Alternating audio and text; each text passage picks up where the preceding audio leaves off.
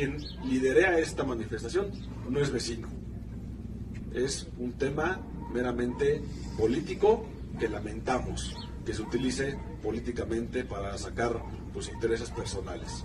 Y dos, que si en su caso hubiera vecinos en esa manifestación, con todo gusto podemos atenderlos a los que sí son vecinos.